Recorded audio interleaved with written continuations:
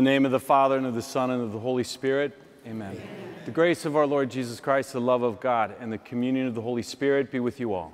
And with your spirit. Brothers and sisters, let us acknowledge our sins and so prepare ourselves to celebrate the sacred mysteries.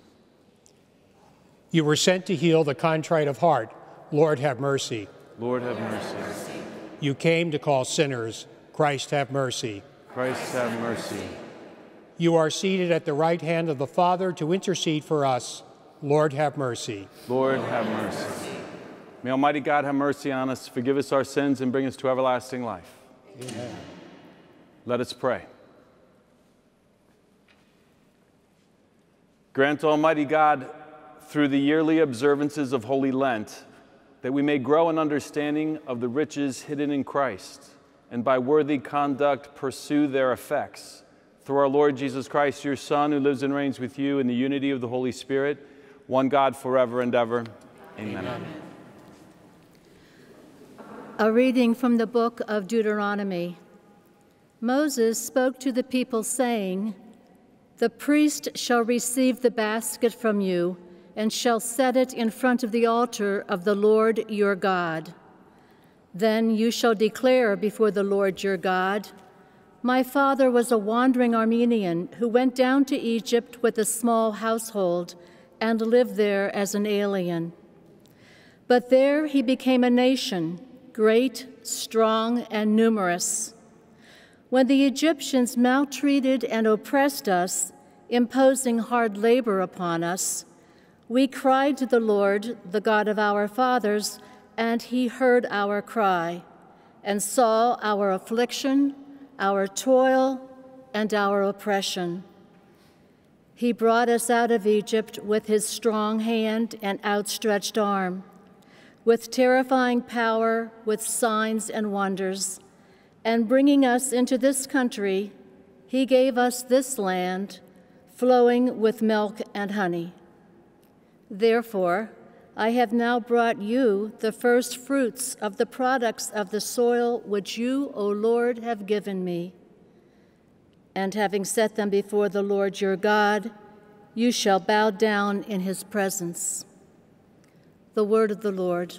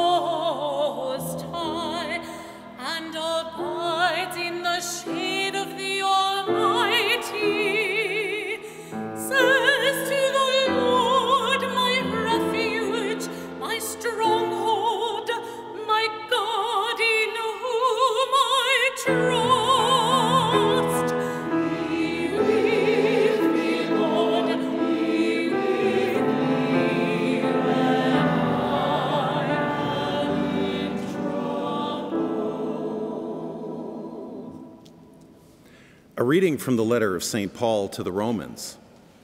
Brothers and sisters, what does Scripture say? The word is near you, in your mouth and in your heart. That is, the word of faith that we preach. For if you confess with your mouth that Jesus Christ is Lord and believe in your heart that God raised him from the dead, you will be saved. For one believes with his heart and so is justified and one confesses with the mouth, and so is saved. For the scripture says, No one who believes in him will be put to shame. For there is no distinction between Jew and Greek. The same Lord is Lord of all, enriching all who call upon him. For everyone who calls on the name of the Lord will be saved. The word of the Lord. Thanks be to God.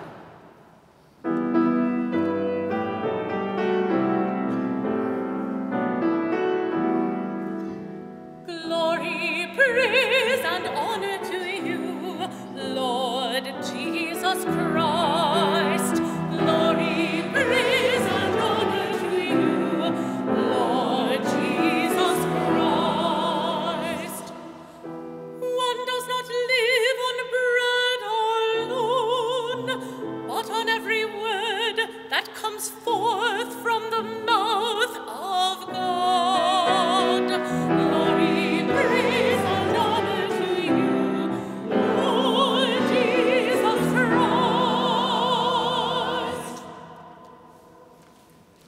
Lord be with you.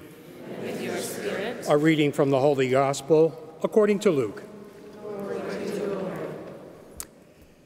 Filled with the Holy Spirit, Jesus returned from the Jordan and was led by the Spirit into the desert for 40 days to be tempted by the devil. He ate nothing during those days, and when they were over, he was hungry. The devil said to him, If you are the Son of God, Command this stone to become bread. Jesus answered him, It is written, One does not live on bread alone. Then he took him up and showed him all the kingdoms of the world in a single instant. The devil said to him, I shall give to you all this power and glory, for it has been handed over to me, and I may give it to whomever I wish. All this will be yours if you worship me. Jesus said to him in reply, It is written, You shall worship the Lord your God, and him alone shall you serve. Then he led him to Jerusalem, made him stand on the parapet of the temple, and said to him, If you are the Son of God, throw yourself down from here, for it is written, he will command his angels concerning you to guard you, and with their hands they will support you, lest you dash your foot against a stone. Jesus said to him in reply, It also says, You shall not put the Lord your God to the test. When the devil had finished every temptation, he departed from him for a time. The Gospel of the Lord.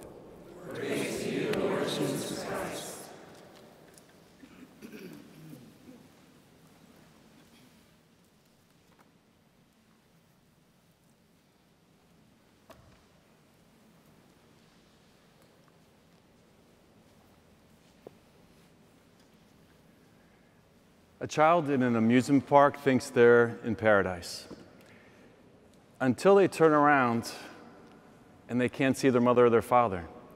And in that moment, paradise becomes hell. Child will start to call out and cry out. You know, it's, it's, when you're in a place like that and you hear over the public announcement system, there's been a child lost, all of our hearts tighten up a little bit. We feel bad. From the time of the fall, we have been experiencing that the world, in some sense, is obscure. It's no longer the Eden that God placed us in. With our relationship with Him, we turn away from Him and everything changes because we want to make ourselves God. We want to, and we do, fall into those temptations that the devil gives to Jesus. But if Jesus is the way to the Father, because the moment that Jesus enters into the world, this obscurity is gone all of reality is now transparent once again through Him. So it's through Jesus we come back to the Father.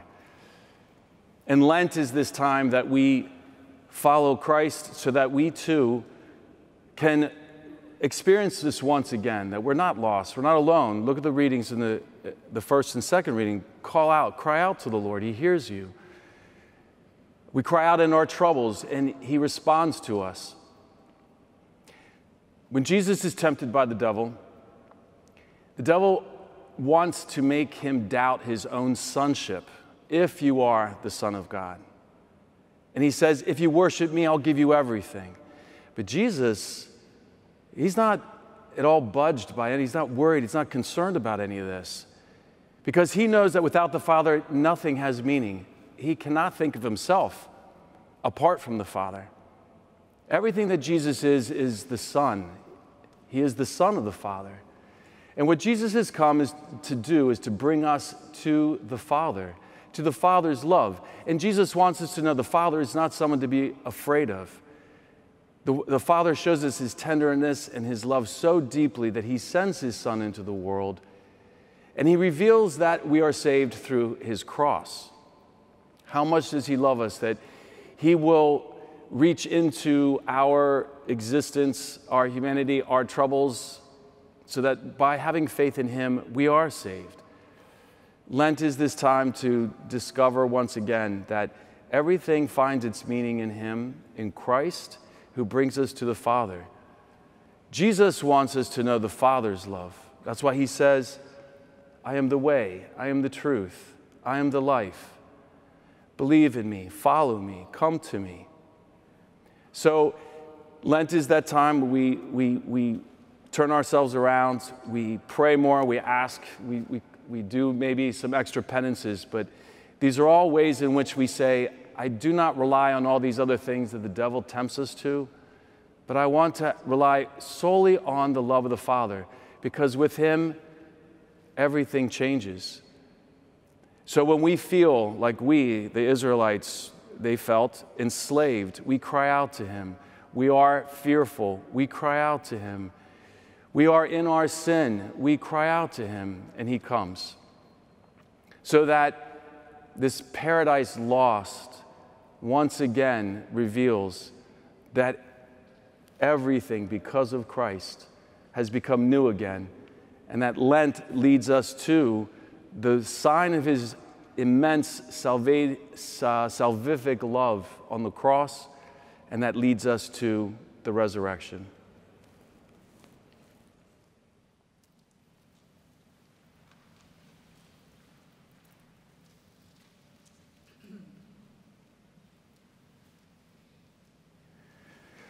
Let us now join the church in professing our faith. I believe in one God, the Father Almighty, maker of heaven and earth, of all things visible and invisible. I believe in one Lord Jesus Christ, the only begotten Son of God, born of the Father before all ages, God from God, light from light, true God from true God, begotten, not made, consubstantial with the Father. Through him all things were made for us men and for our salvation. He came down from heaven, and by the Holy Spirit was incarnate of the Virgin Mary and became man. For our sake he was crucified under Pontius Pilate. He suffered death and was buried, and rose again on the third day in accordance with the Scriptures. He ascended into heaven and is seated at the right hand of the Father. He will come again in glory to judge the living and the dead, and his kingdom will have no end. I believe in the Holy Spirit, the Lord, the giver of life, who proceeds from the Father and the Son, who with the Father and the Son is adored and glorified, who has spoken to the prophets. I believe in one holy Catholic and Apostolic Church. I confess one baptism for the forgiveness of sins. I look forward to the resurrection of the dead and the life of the world to come. Amen. Confident in our Father's love for us, we place before Him now our prayers and needs. For the church and her leaders, may they always live and teach the truths of the Catholic faith in love and simplicity. We pray to the Lord. Lord, hear our prayer. For those in public service, may they not fall to the temptation of favoring only the powerful, but seek in all their deliberations just solutions for the whole community. We pray to the Lord. Lord hear our prayers. for an openness to life within the sacrament of marriage, and an increase in vocations to the priesthood, religious life, and the permanent diaconate, we pray to the Lord. Lord, hear our prayer. For those who find it difficult to live the Christian life, may they rekindle their love for God and grow closer to Him in all their joys and sorrows. We pray to the Lord. Lord, Heavenly Father, you strengthen us in your love, calling us to a deeper relationship with you during this holy season of Lent. We ask you to hear and answer these prayers we place before you through Christ our Lord. Amen. Amen.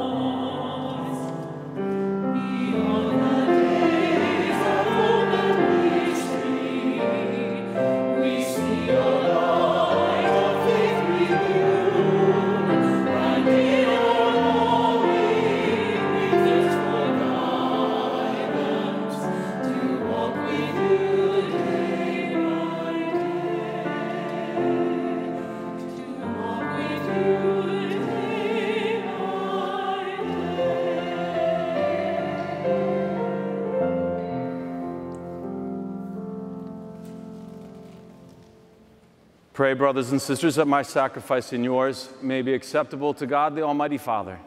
May the Lord accept the sacrifice at your hands for the praise and glory of his name, for our good and good of all his holy church. Give us the right dispositions, O Lord, we pray, to make these offerings. For with them we celebrate the beginning of this venerable and sacred time through Christ our Lord.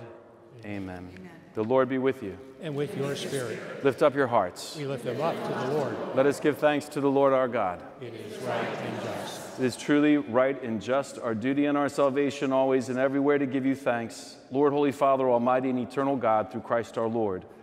By abstaining 40 long days from earthly food, he consecrated through his fast the pattern of our Lenten observance, and by overturning all the snares of the ancient serpent, taught us to cast out the leaven of malice so that celebrating worthily the paschal mystery, we might pass over to last, at last to the eternal paschal feast. And so, with company of angels and saints, we sing the hymn of your praise as without end we acclaim.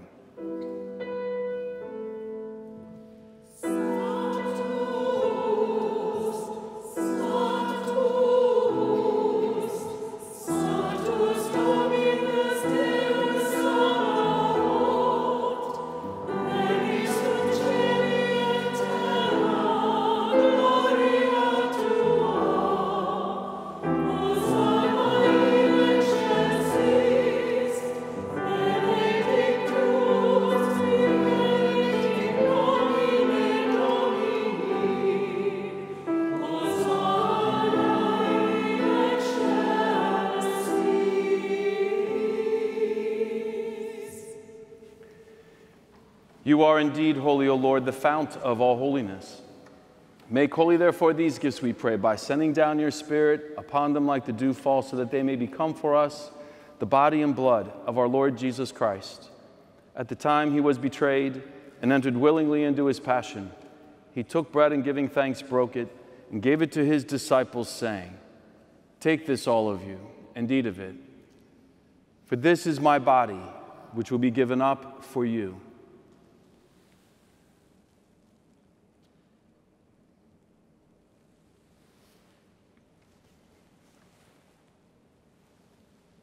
In a similar way, when supper was ended, he took the chalice, and once more giving thanks, he gave it to his disciples, saying, Take this, all of you, and drink from it. For this is the chalice of my blood, the blood of the new and eternal covenant, which will be poured out for you and for many for the forgiveness of sins. Do this in memory of me.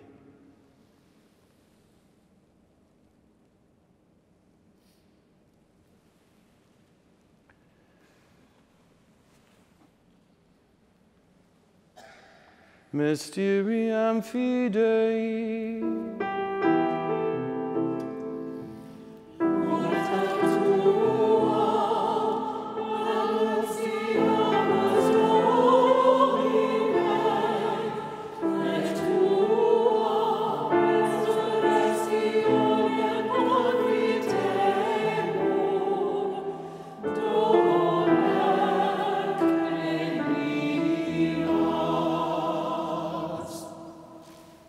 Therefore, as we celebrate the memorial of his death and resurrection, we offer you, Lord, the bread of life and the chalice of salvation, giving thanks that you have held us worthy to be in your presence and minister to you.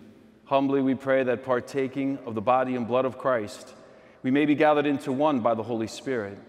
Remember, Lord, your church spread throughout the world and bring her to the fullness of charity, together with Francis our Pope and Donald our Bishop and all the clergy Remember also our brothers and sisters who have fallen asleep in the hope of the resurrection, and all who have died in your mercy.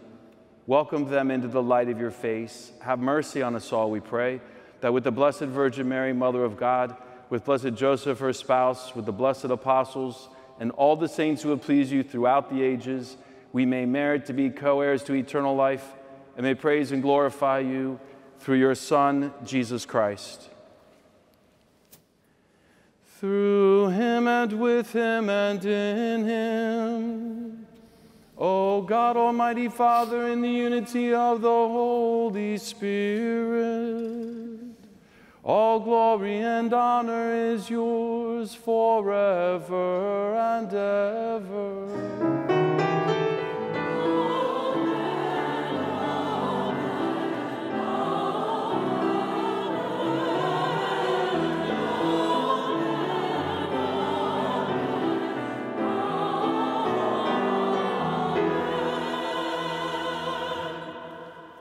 The Savior's command, informed by divine teaching, we dare to say, Our Father, who art in heaven, hallowed be thy name. Thy kingdom come, thy will be done, on earth as it is in heaven. Give us this day our daily bread, and forgive us our trespasses, as we forgive those who trespass against us. Lead us not into temptation, but deliver us from evil. Deliver us, Lord, we pray, from every evil. Graciously grant peace in our days, that by the help of your mercy we may be always free from sin and safe from all distress as we wait the blessed hope and the coming of our Savior, Jesus Christ. For the kingdom, the power, and the glory are yours. Lord Jesus Christ, you said to your apostles, Peace I leave you, my peace I give you. Look not on our sins, but on the faith of your church, and graciously grant her peace and unity in accordance with your will who live and reign forever and ever. Amen. Amen. The peace of the Lord be with you always. And With your spirit. Let us offer each other the sign of peace. Peace be with you.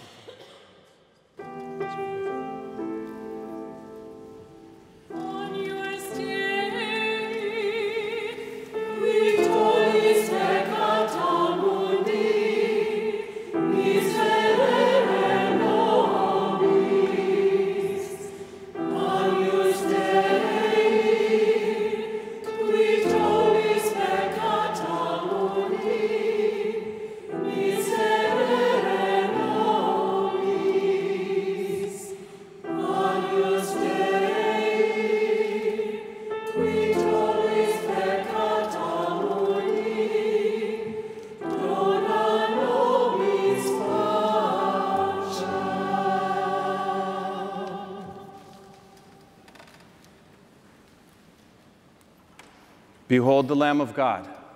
Behold him who takes away the sins of the world. Blessed are those called to the supper of the Lamb. Lord, I am not worthy that you should enter into my roof, but only say the word, and my soul shall be healed.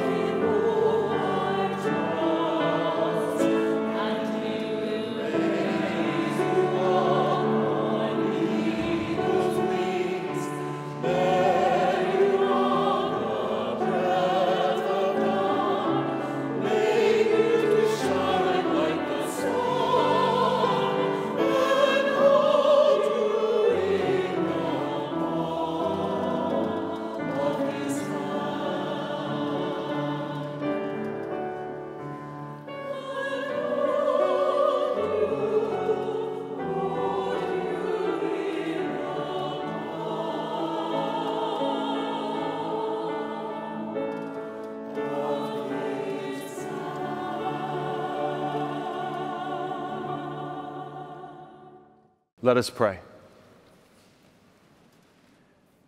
Renewed now with heavenly bread by which faith is nourished, hope increased, and charity strengthened, we pray, O Lord, that we may learn to hunger for Christ, the true and living bread, and strive to live by every word which proceeds from your mouth. Through Christ our Lord. Amen. Amen. And before the final blessing, if you're at home and you would like somebody to visit you to bring you Holy Communion, to the other sacraments, please contact your parish. And we want to thank all those who make this Mass possible here at the Basilica of the Shrine of the Immaculate Conception, and for all those who help out each week to serve and minister at this Mass. The Lord be with you. And with your spirit. Bow down for the blessing. May bountiful blessings, O Lord, we pray, come down upon your people that hope may grow in tribulation, virtue be strengthened in temptation, and eternal redemption be assured through Christ our Lord. Amen. Amen. And may Almighty God bless you, the Father, and the Son, and the Holy Spirit. Amen. Go in peace. Thanks be to God.